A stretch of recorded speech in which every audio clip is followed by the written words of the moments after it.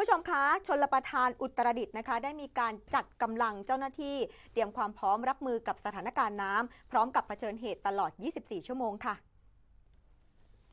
นายพฤกษ์เรืองไวยค่ะ ผู้อำนวยการโครงการชนลประทานอุตรดิตถ์นะคะ ได้เปิดเผยว่าในช่วงของวันที่ 21 ถึง 23 กันยายนนี้ ประเทศไทยจะมีฝนตกหนักมากบางแห่งในภาคเหนือ ประกอบกับมีหย่อมความกดอากาศต่ำที่อ่อนกำลังลงจากพายุดีเพรสชันซูลิก ที่เคลื่อนเข้าปกคลุมนะคะ บริเวณภาคเหนือตอนล่าง จึงขอแจ้งเตือนประชาชน ให้ระมัดระวังอันตราย แล้วก็ติดตามสถานการณ์น้ำอย่างต่อเนื่องค่ะ ในส่วนของชนประธานอุตรดิตถ์นะครับได้กำชับให้เจ้าหน้าที่เตรียมความพร้อมทั้งในส่วนของเครื่องจักร เครื่องมือและบุคลากร รับมือสถานการณ์ 24 ชั่วโมง สามารถเข้าไปช่วยเหลือทันที โดยเฉพาะพื้นที่ลุ่มต่ำและพื้นที่เสี่ยงน้ำท่วม พร้อมบริหารจัดการน้ำให้สอดคล้องกับสถานการณ์ และเกิดประโยชน์สูงสุด ควบคู่ไปกับการปฏิบัติตามมาตรการรับมือฤดูฝน